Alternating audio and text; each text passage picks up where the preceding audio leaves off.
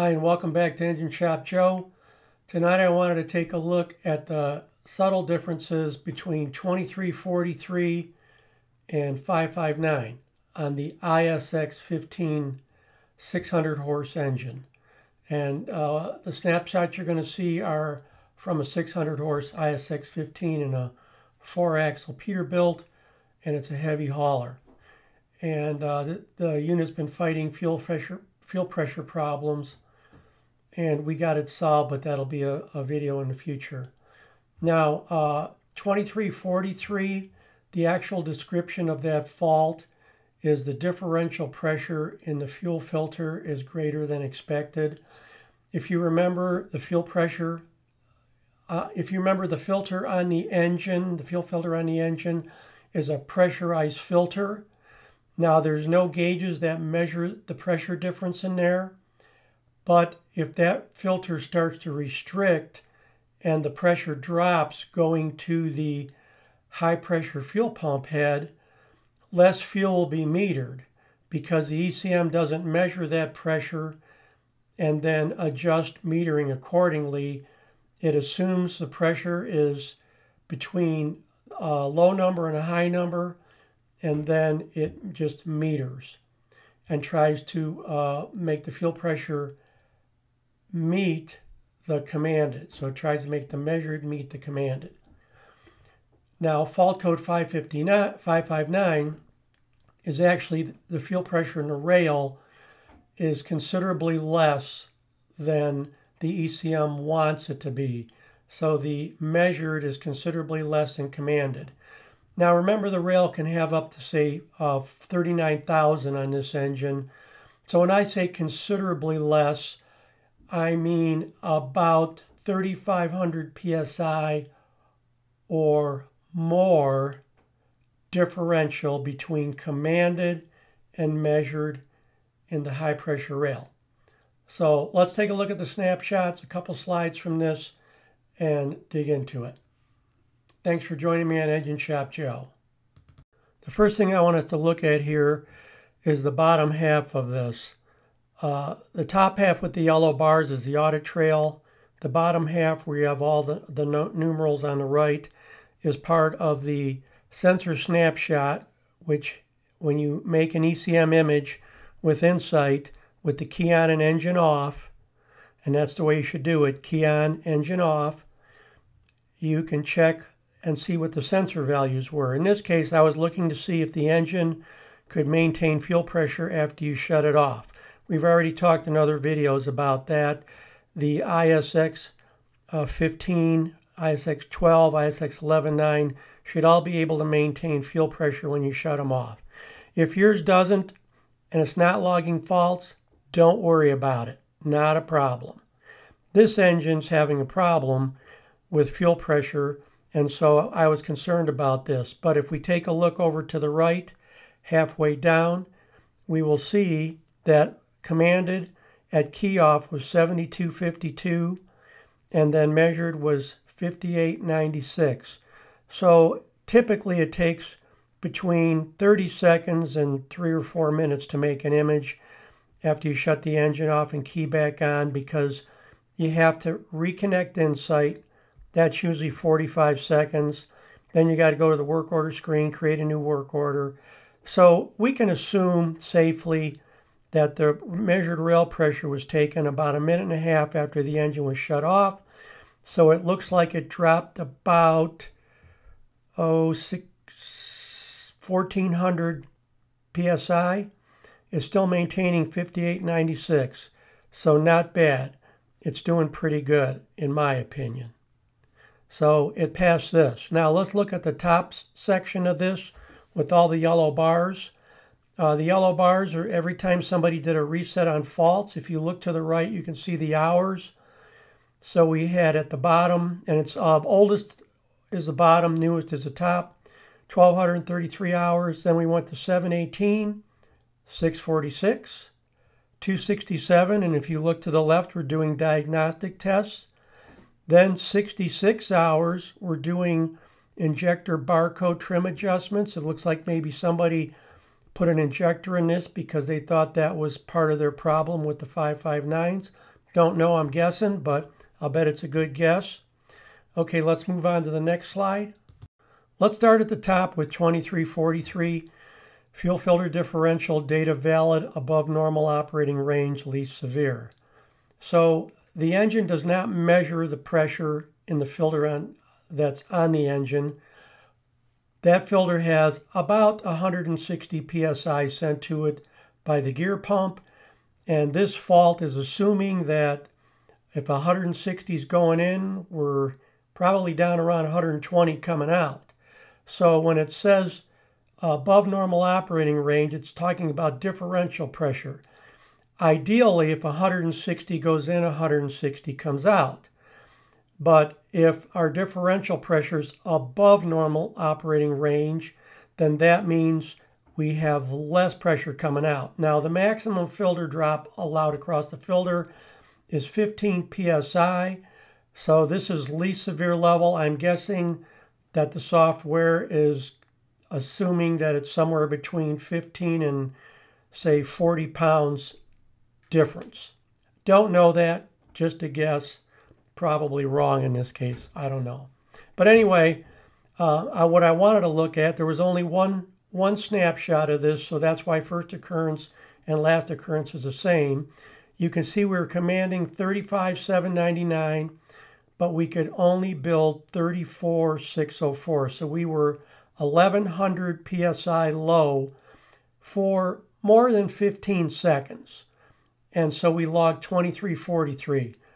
Quickly, why did they come up with this fault? Because it wasn't in the earlier calibrations.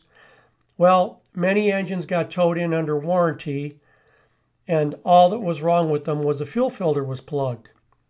And they were logging 559s because the filter was really plugged. Because remember when these engines first came out, nobody really understood that the 4 micron filter on the engine was going to plug up fast if you got dirty fuel. And it took time for people to learn that. It took time for companies to start polishing their fuel. Polishing just means cleaning it, running it through filters before they put it in a big tank to take a lot of the um, minute dirt out of it so that the filters don't plug up. So Cummins decided to write fault code 2343 into the into the calibrations. So if that fault came up, instead of somebody getting towed in for a 559, which could be all kinds of problems, fuel pump, uh, rail pop off, actuator, you name it. If it's a 2343 and they read this, they're going to go, oh, let's change fuel filters. And truthfully, probably half the time in the beginning, changing the fuel filter fixed the problem. 559s were gone and you were good to go. So that's why that happened. Now, uh, let's go down to the bottom half, 559, uh, injector me metering rail pressure data valid below normal operating range, moderately severe. Remember, the system waits at least 15 seconds before it'll log this fault, so you've got to have pretty a pretty dramatic difference for 15 seconds. In this case, if you look at commanded and measured, uh, there was two different snapshots and we're looking at about a 4,000 pound difference. And if you look down one line below the purple line, its engine speed was 1424. Accelerator pedal was 100%. They had their foot in it. They're pulling hard. Okay. Notice one says maximum fueling and one says maximum throttle. Maximum fueling, the load is 99%, and maximum throttle, the load is 100%. So maximum fueling's there because that's all the ECM is going to give it.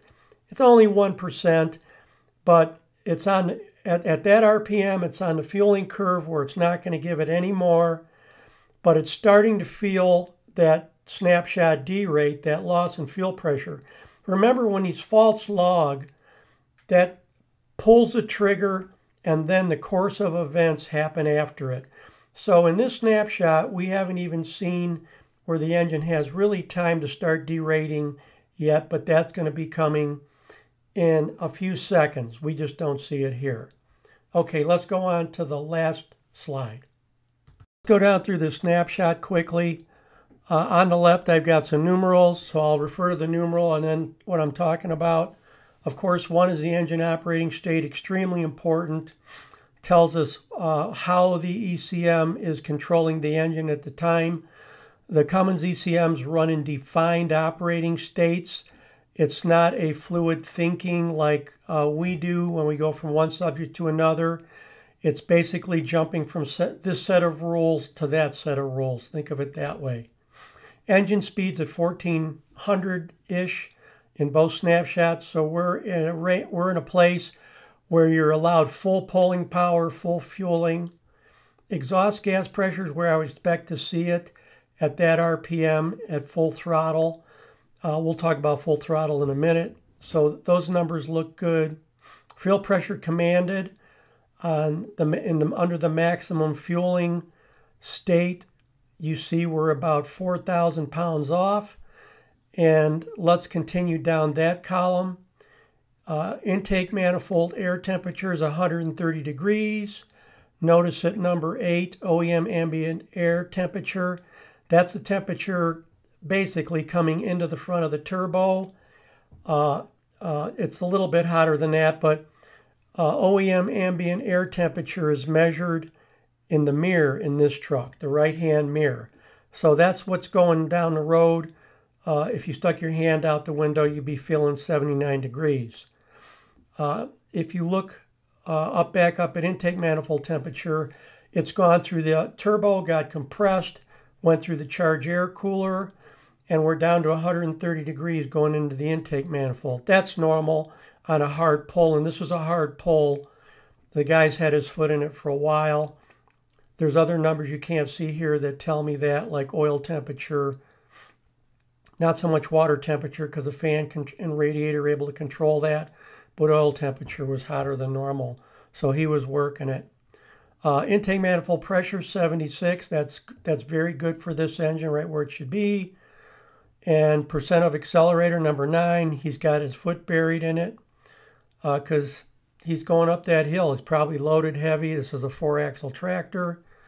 Percent of load 99%. Percent of load. Think of that as uh, how much of the allowed torque at that RPM and that fueling state, that percent of throttle, that boost, how much torque the of available total available torque the engine's giving or uh, putting to the flywheel.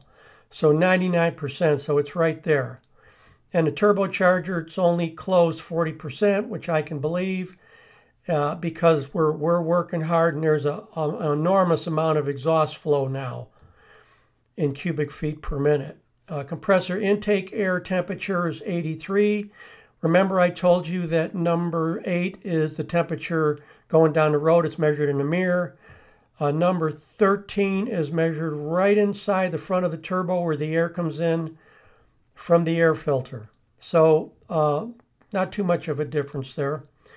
And then turbocharger speeds 110,000. That's typical. Once you get over about 114,000, you'll start to see um, derates because of turbo speed. And he's going 60 miles an hour. So let's pop over to the maximum throttle column. And let's look at line 7, intake manifold pressure. Notice it went down about 3 um, PS, 3 inches of mercury. That'd be 1.5 psi. And if you look at the fuel pressure, we lost about another 800 to 900 pounds of fuel pressure uh, out of the measure. That's line five. And that's probably why we lost that, uh, that boost.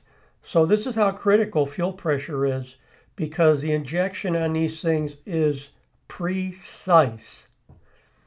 Uh, OEM ambient air temperature at that point was 61 and turbocharger compressor intake air was 64.